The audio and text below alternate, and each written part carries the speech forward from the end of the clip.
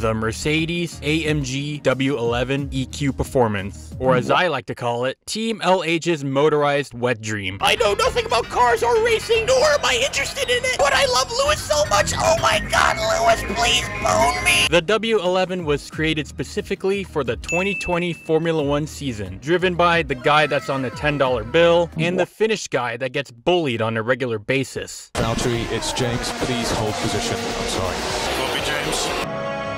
Why the one listen to me when I say it's going to be a two-stopper?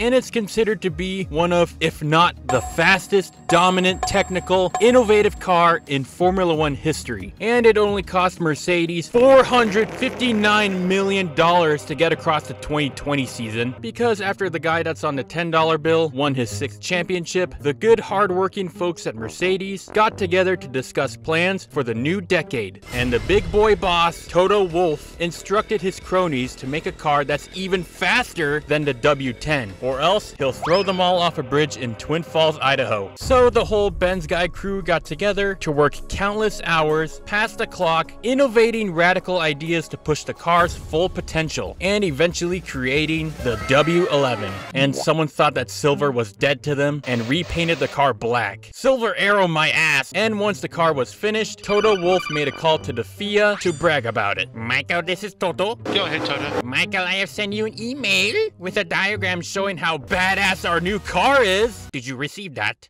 Uh, Toto, n- no, I honestly don't really give a shit. And once the car's been revealed to the world, it's time for the W11 to compete in the 2020 Formula One Championship. Well, because the world decided to lose its shit, the car unfortunately wasn't able to compete in the upcoming Grand Prix. But fear not, because Formula One got back to racing in the Red Bull Ring in early July, and was quickly proven to be a top-notch rally car, with Valtteri getting pole position with a 102.939, and also winning the Austrian Grand Prix. Yes! No!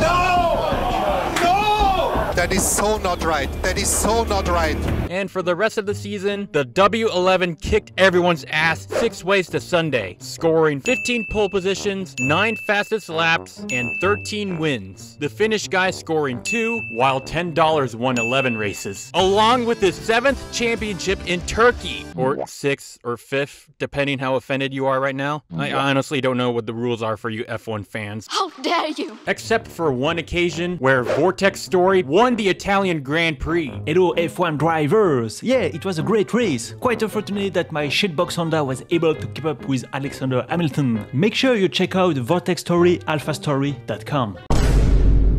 think something happened to my left eye also.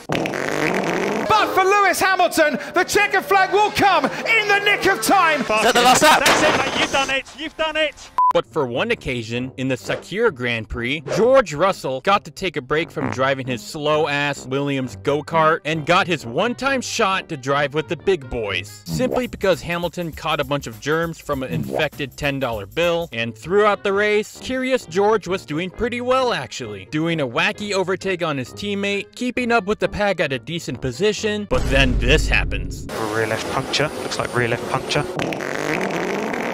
So instead, Georgie Orgy had his hopes and dreams of winning a race immediately destroyed. And instead, a Mexican Barbie fan ends up taking the win instead, after, you know, spitting out and shit. But let's talk more about the car itself. The car is powered with the F1 regulated 1.6 liter turbo hybrid V6 engine. Sorry, power unit. Technically known as the AMG HPP M11. And it can rev up to 15,000 rocket powered Mohawks with 1,025 horsepower to back it up. And for the transmission, well, a super expensive 8-speed semi-auto sequential, and of course, the drag reduction system for the rear spoiler. But one feature that the W11 had that no other F1 car had was the DAS system, dual axis steering. What is it you ask? Well, according to F1 technical nerd Mark Hugh Janus, it's a special device that adjusts the toe angle of the front tires. By simply pushing or pulling the steering wheel like an airplane, the toe angle suddenly suddenly fix itself to the desired angle. By simply pulling on the wheel, you get more positive angle, and if you push the wheel, you get more negative angle, which is great for cornering actually, because the Pirelli P0 tires that Formula 1 uses are about as sensitive as a Starbucks barista, so when you're on the straights, you can keep the toe angle neutral so that the tires are fine and dandy, and once you get to a right-hander, fucking set the toe in and heat up those bitches! But after the end of the 2020 season, the FIA saw the W11 and was like, yeah, no, this shit too advanced, kid. Consider this banned. And after the absolute dominance that was the W11, it's time for 2021. And they transformed the W11 into the W12. And hopefully, Mercedes gets another year of absolute dominance. Max Verstappen is champion of the world!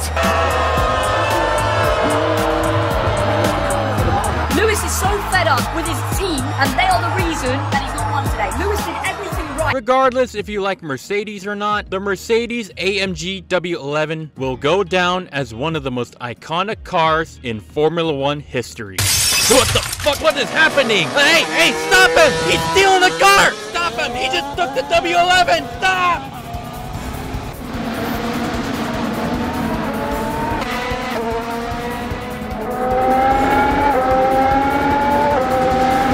Head in the game, first proper lap. Right, up towards the fast left-right combo. Hit the brakes, tip it in.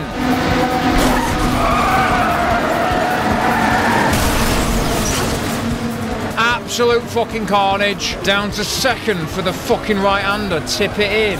Oh, do you know what? You can get fucked as well, mate.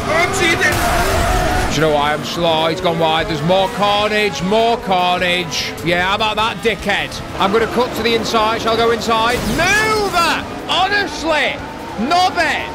I got to take advantage while these dickheads are fighting in front of me. We've got a healthy gap behind. Fuck all of you motherfuckers. Yes! Oh, yes! Shit. All right, calm down. It's all about this dick. Whoopsie daisy. Oh, sorry. Ha ha. Wait, where's the fucking. Ah, you fucking nonce bastard. Right, we've just been overtaken by Ferrari. Right, that's it. We're going to get him back. I'm not having that.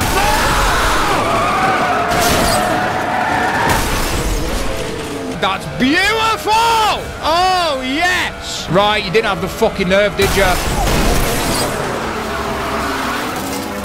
Fucking dickhead! Jesus Christ. Come on, we got with a chance for a podium here. Right, cut back in. There we go. No! Damn it! Is he a fucking prick or what?